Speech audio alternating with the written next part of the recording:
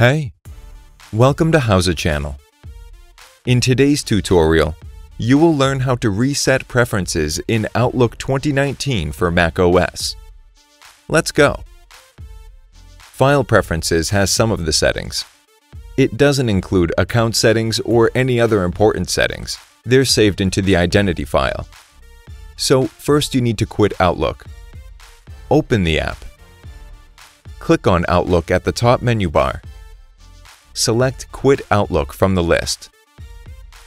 Go to Spotlight Search and open Terminal.